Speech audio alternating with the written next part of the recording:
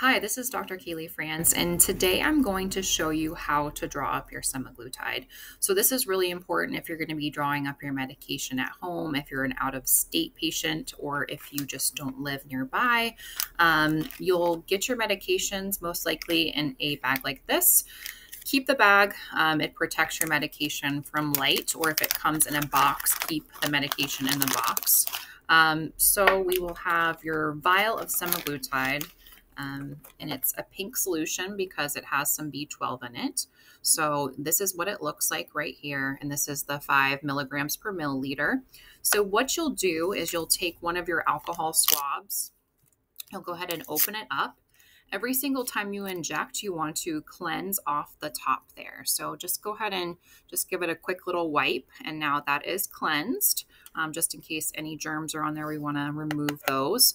Then you have your syringe. You're going to remove this part from the plunger. You're going to go ahead and just loosen up the plunger a little bit. Then you'll remove the needle cap. You will look for that little bullseye target hole in there. And then we're going to just put the syringe in. And you can put it all the way in is fine.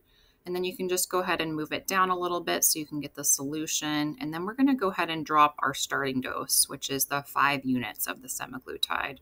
So if you can see there, I'm drawing it down right to the five. I actually drew a little bit past.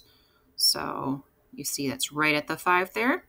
And then you can just pull your syringe out. Go ahead and put the you can put the cap back on if you want to put your medication back in the refrigerator before you inject. Always refrigerate your semaglutide. We're going to put it back in that light protected baggie.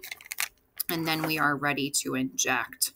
Um, I am not going to inject myself today, but basically all you do is you're going to cleanse off the skin and your abdomen, um, in your fatty tissue. So right about here, always cleanse. You'll take off your syringe. You'll go ahead and in, put the syringe into your fatty tissue and then you'll press the plunger once it's in.